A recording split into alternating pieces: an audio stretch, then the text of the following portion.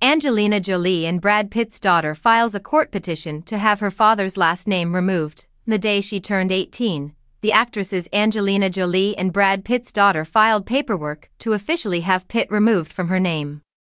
According to the Los Angeles Times, on May 27, Shiloh Nouvel Jolie Pitt filed a petition in Los Angeles County Superior Court to change her name to Shiloh Nouvel Jolie on May 27, 2006. The third oldest of the six children born to the former marriage was born in Swakopmund, Namibia. Along with Maddox, Pax, Zahara, and the twins Knox and Vivienne, there are other siblings.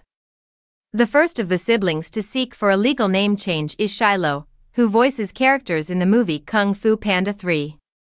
However, some of the other children have stopped using their father's last name in public, according to the Times. Although the specifics of the divorce have not yet been completed, Angelina Jolie filed for divorce from Pitt in September 2016. Not the stars, who tied the knot in August 2014, have been involved in legal disputes with each other in recent years over their joint business endeavors and property, which includes a French winery, according to the Times.